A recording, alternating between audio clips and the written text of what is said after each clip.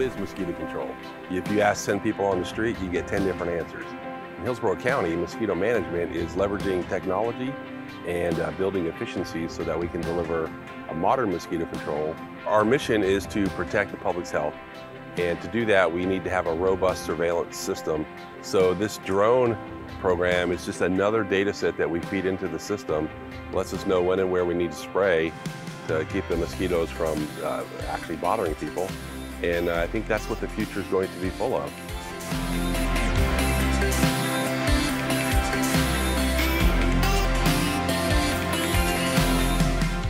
Mosquito control relies heavily on, on two factors to be successful. Those are access and timing.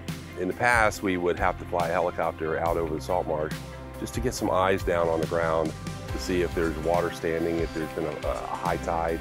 So the, the idea with the drone is that we can fly in with, a very, with no footprint at all on the ground and uh, with a 4K camera we can uh, identify how much water is standing uh, and uh, if, if we need to spray. I think the future is exciting for drones and mosquito control.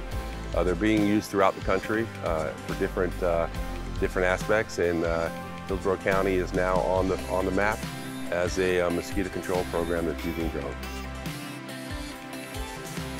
I've been involved in mosquito control for 35 years.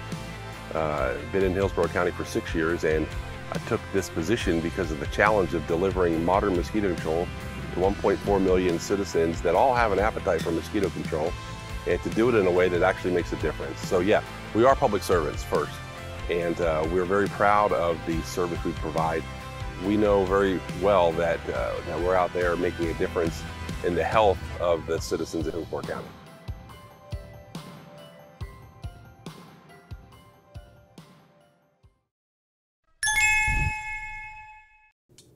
Hey everyone, if you enjoyed this video, please hit that like button and be sure to subscribe. We always welcome your thoughts and questions, so please leave a comment down below. And if you're looking for more videos to watch, I've gathered a few right over here.